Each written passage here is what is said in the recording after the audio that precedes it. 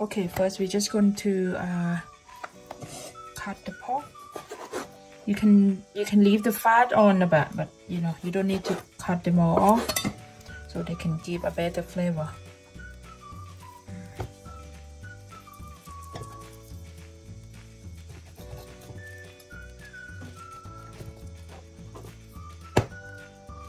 Need to cut between the joint here, so it's not it's the going to be better and soft.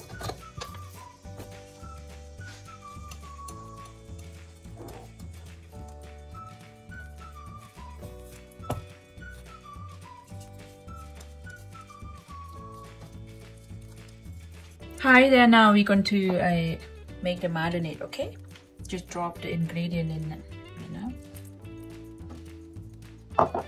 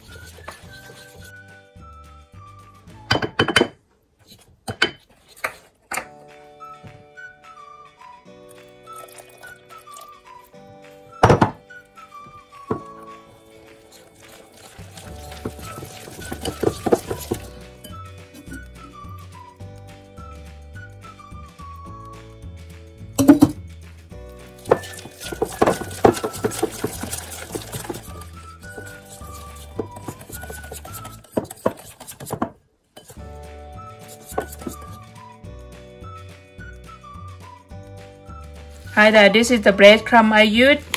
It's panko breadcrumb. So you can buy it from Asian supermarket or I'm sure you can get online. This is quite a good one. Oh.